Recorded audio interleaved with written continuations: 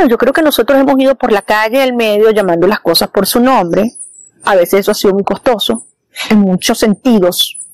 Eh, desde la persecución física y los golpes físicos hasta, ¿sabes?, el, el desprestigio, el ataque al honor, que es lo más importante que puede tener un ser humano, un ciudadano y desde luego un político. Eso es raro decirlo en Venezuela porque la gente aquí piensa que a los políticos no les importa. No, no, no, yo creo que eso es lo más valioso que tú tienes en tu vida.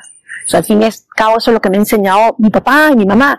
Entonces, en mente eso lo tenemos muy claro. Ahora, que hay presiones y que hay gente tratando de tentar llevarse gente, hablarle de, tú sabes, las posibilidades de una campaña electoral que trae muchos beneficios económicos, de proyección, etcétera.